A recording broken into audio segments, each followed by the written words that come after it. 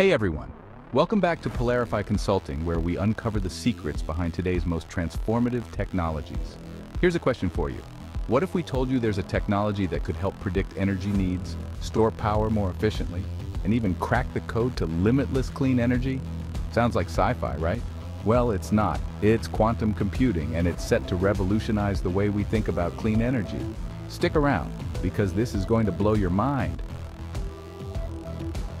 First, let's demystify quantum computing. Imagine trying to solve a maze. Classical computers explore it step by step, while a quantum computer explores all paths simultaneously. How? By using qubits, which can exist as 0, 1, or both at the same time thanks to superposition. Couple that with entanglement, and you've got a supercharged problem solver that's rewriting the rules of computation. So how does this tie into clean energy? Let's start with a big one, renewable energy grids. Have you ever wondered why we still struggle with integrating solar and wind power even though they're free and abundant? Here's the problem. Renewable energy sources like solar and wind are inconsistent. The sun doesn't always shine and the wind doesn't always blow. This unpredictability makes managing energy grids incredibly complex. So how do we make sure the lights stay on even when nature doesn't cooperate? Enter quantum computing. Imagine being able to analyze massive data sets, weather patterns, energy usage trends, and real-time grid performance, all at once. Quantum algorithms can predict energy supply and demand with pinpoint accuracy, ensuring we generate just the right amount of power, fewer blackouts, less wasted energy, and a seamless transition to renewables. Pretty amazing, right? Now here's a thought. What if every city in the world had this level of optimization? Could we finally eliminate our reliance on fossil fuels? What do you think? Drop your thoughts in the comments. Next, let's talk about batteries. Ever had your phone die at the worst possible moment?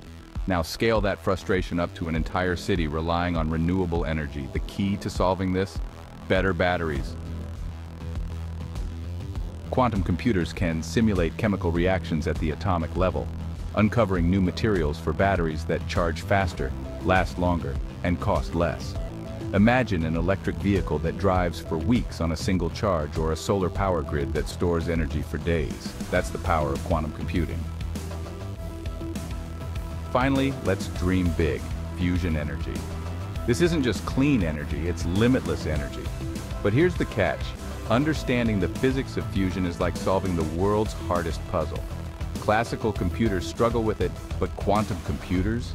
They're already making breakthroughs in modeling these complex reactions.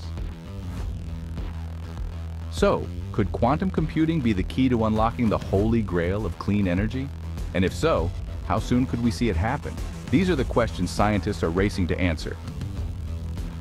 Of course, it's not all smooth sailing. Quantum computers are still in their infancy. They're fragile, expensive, and need ultra-cold environments to function. But remember, every revolutionary technology had its hurdles. The internet, airplanes, even electricity, they all seemed impossible at first. So, what's your take? Are quantum computers the superheroes we need to save the planet, or are we still dreaming too big?